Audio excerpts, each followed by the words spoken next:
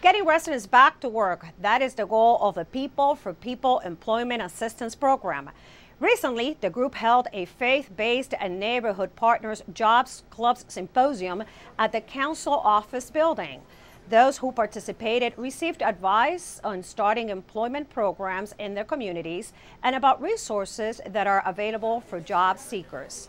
Panelists for the day included local job club and ministry leaders, faith and community leaders, workforce development officials, and others who are assisting job seekers. Council member Nancy Floreen says she wants to find ways to help people tap into new ways of finding success. But you in the faith community have a personal connection with your communities in a way that's really priceless. And what you're doing through the People for People program is something that we can't do in government.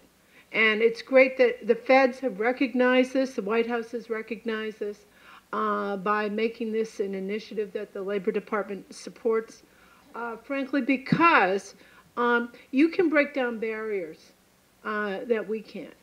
You create safe places, uh, comfortable places where people in stress can go.